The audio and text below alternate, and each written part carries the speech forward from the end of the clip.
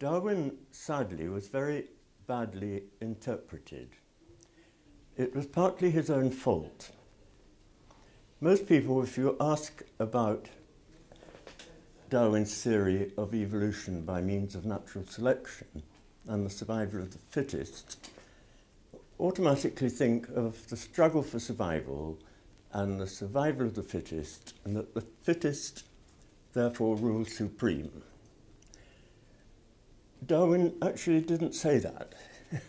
what Darwin said was the fittest are the fittest, those best fitted to their environment. And it was Herbert Spencer, the philosopher, who came along afterwards and said to Darwin, what do you really mean, Darwin, is um, survival of the fittest. Now, Darwin shook his head, and it took him a long time for him to agree to this because it wasn't what he was saying. He was saying that those species who were most well fitted, best fitted to the many different impact energies of the planet light, heat, um, food, chemistry, physics the ones that were became the dominant species in any particular epoch of evolution were those species that were best fitted to all these energies. And also, he said, there are two factors within natural selection. One is what um, natural selection that we've all been talking about. The other is conditions of existence.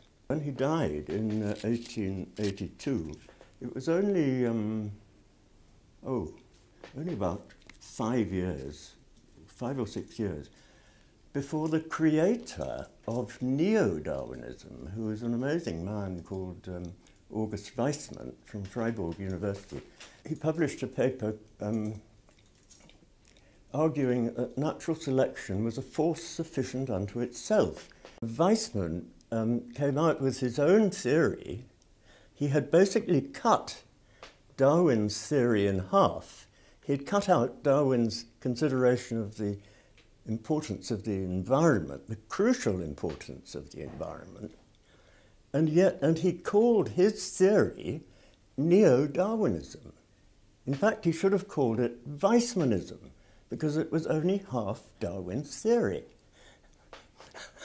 and now you can get top commentators um, the world over uh, who say they're a Darwinist, when in actual fact, it's, it's patently obvious, they are a neo-Darwinist. They are a Weismannist.